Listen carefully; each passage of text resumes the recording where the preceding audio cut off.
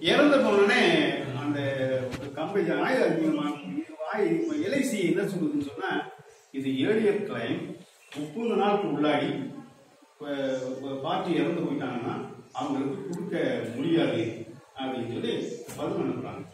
நாங்க சொல்றோம் நீ எப்ப பணம் வாங்கி ரசீது கொடுத்துட்டியோ அப்பயே நீ ஒப்புக்கொண்டுட்ட அதனால அவருடைய ரசீதை நீ கொடுத்தாங்க. ஒரு லட்சம் ரூபாய் claim. நீங்க கொடுத்தாங்க அப்படின்னு சொல்லி போறோம்.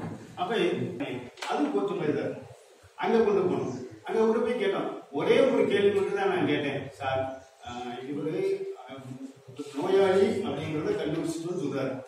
நோய் வந்து தான் இறந்தாருன்னு சொல்றாரு. நோய் வந்து இறந்து சொல்றாரு. ஏழியர் கிளைன்னு சொல்றாரு. நாங்க பணம் கட்டின தேதியிலிருந்து எங்களுக்கு அதை எழுதிடும் ஒண்ணு. இவர் நோய் வந்து இறந்தாருன்னு சொன்னா இந்த கிளைமை பதிவு பண்ணும்போது அப்ளிகேஷன் கொடுக்கும்போது ஒரு டாக்டர் இந்த நோயாளி நல்ல கண்டிஷன்ல இருந்தார் சர்டிபிகேட் கொடுத்தார் உங்க ஏஜென்ட் தான் கொண்டு போய் கரெக்ட் வைக்கிறார். ஏஜென்ட் வாங்குவாங்க. ஏஜென்ட் அந்த பாலிசி நடக்கிற வரைக்கும் நம்மளை அழுகி பாலிசி பண்ணி என்னென்ன செய்யணுமோ அதெல்லாம் பண்ணிவிடுவாங்க பண்ணிட்டு கடைசியில வந்து அதை கேட்பாங்க பாலிஷ் போட்டுறோம் அப்ப டாக்டர் இது ஒரு இரநூறு கொடுத்து கைத்து வாங்கிட்டாரு. அந்த பேப்பரை நம்ம கையில கடைசியா இருக்குது.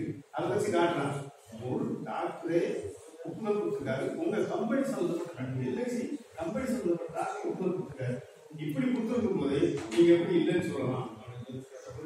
அப்புறம் தான் அனௌன்ஸ்மெண்ட் அந்த பேப்பர்லாம் பார்த்துட்டு அவங்களே உத்தரவு போட்டாங்க. அவர் ஒரு லட்ச ரூபா பணம் வாங்கி கொடுத்துருங்க.